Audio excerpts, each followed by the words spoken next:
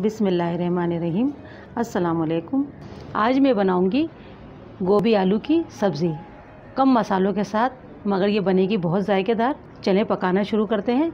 इसके लिए मैंने लिए गोभी हाफ़ के जी इसे अच्छे से साफ़ कर लें, धो लें। मैंने इसके पीस अलहदा अलहदा कर लिए और इन्हें बारीक बारीक काटना नहीं होगा, क्योंकि हमें गोभी साबित ही चाहिए पकने के बाद। आलू लिए मैंने 250 ग्राम, जिन्हें मैंने छोटा काट लिया है। ज़्यादा छोटा नहीं काटा है, दरमियाने काटें गोभी के हिसाब से। जैसे हमारी गोभी के फूल हैं, इसी तरह से हमने आलू की कटिंग करी है। इसके लिए मैंने ऑयल लिया है हाफ़ कप आप कम या ज़्यादा कर सकते हैं। ऑयल में हम डालेंगे आधा टीस्पून सफ़ेद ज़ीरा। थोड़ा सा ज़ीरे को हमें पकाना होगा, ताकि उसकी खुशबू अच्छे से हमारे ऑयल के अंदर आ जाए।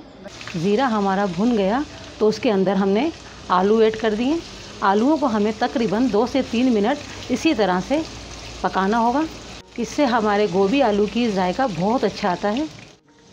आलू हमने दो से तीन मिनट अच्छे से फ्राई कर लिए। अब इसमें हम गोभी ऐड करेंगे।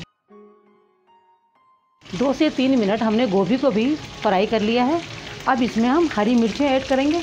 मैंने चार अदद हरी मिर्चें ली और जिन्हें छोटा छोटा काट लिया है। आप चाहें तो कम या ज़्यादा कर सकते हैं अपने टेस्ट के मुताबिक। आधा टीस्पून हल्दी पाउडर, ग्रेट किया हुआ अदरक, एक टीस्पून। आप पिसा हुआ भी डाल सकते हैं।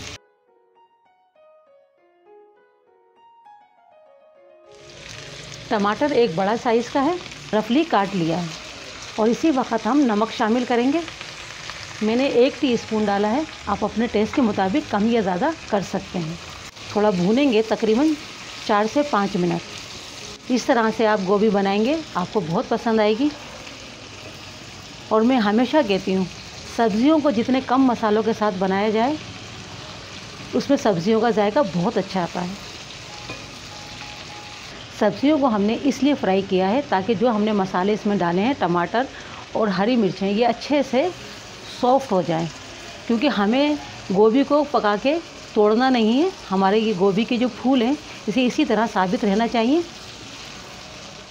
अब इसमें हम शामिल करेंगे दो से तीन टेबल स्पून पानी और इसे हम लीड से कवर करके बिल्कुल स्लो गैस के ऊपर तकरीबन पंद्रह मिनट पकने के लिए रख देंगे ताकि हमारी गोभी और आलू अच्छे से गल जाएँ।